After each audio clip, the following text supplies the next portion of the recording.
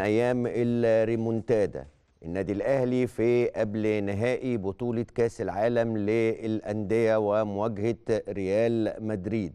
وكذلك الهلال السعودي في قبل النهائي ومواجهة فريق فلامينجو البرازيلي.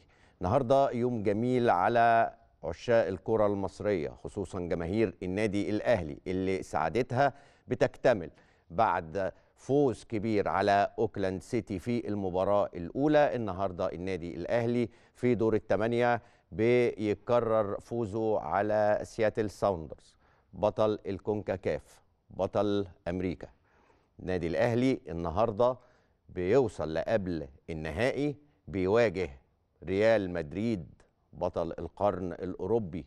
مباراة كلنا مستنيينها بطل القرن الأفريقي في مواجهة بطل القرن الاوروبي مباراة كلنا هنستناها يوم الأربعاء اللي جاي إن شاء الله وكلنا عندنا طمع وكلنا عندنا ثقة في النادي الأهلي. النادي الأهلي اللي بيفرحنا النادي الأهلي اللي بيشرفنا النادي الأهلي اللي دايما رافع راسنا ورافع اسم مصر في المحافل الدولية. النادي الأهلي اللي معودنا الفترة الأخيرة في كأس العالم للأندية على التألق وتألق اللعيبة وفرحة الجمهور وفرحتنا. ويمكن أنا من ضمن الحاجات اللي أنا سمعتها النهارده أثناء فرجتي على المباراة وعجبتني جدا جدا من معلق المباراة أما قال هو ده النادي الأهلي. وعلى الجميع إنه يبص للنادي الأهلي واللي عايز يبقى زي النادي الأهلي لازم يركز ويتعلم من النادي الأهلي. يسيب كل حاجة على جنب ويبتدي يركز علشان يتعلم ويشوف النادي الأهلي بيعمل إيه علشان يحاول يمشي على نفس خطى النادي الأهلي. وزي ما بقول اسم مصر في مثل هذه البطولات هي اللي بتبقى مرفوعة. افريقيا. دلوقتي خلاص النادي الأهلي عودنا في كأس العالم للأندية على المستوى الدولي. النهارده خلاص العالم كله عارف إن ريال مدريد جاي هيواجه النادي الأهلي المصري. وزي ما قلت لازم يبقى عندنا طمع. ماتش هيبقى صعب جدا.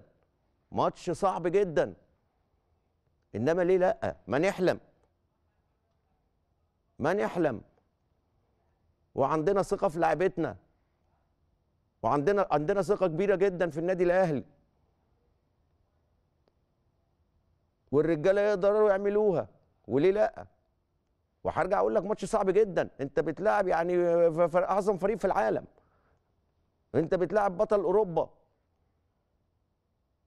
أنت بتلاعب يعني كوكبة من اللاعبين حاجة حاجة تفرح. ما أنا بصراحة لازم أقول حاجة تفرح. ما ده النادي بتاعي طول عمري من وأنا صغير. وجه اليوم اللي مش هشجعه. خلاص. ريال مدريد هيلاعب النادي الأهلي. هضطر أبيع ريال مدريد. عمري ما بعته. غصب عني هبيعه. النادي الأهلي بيكسب النهارده. الفوز الثاني بيروح يلعب مع ريال مدريد.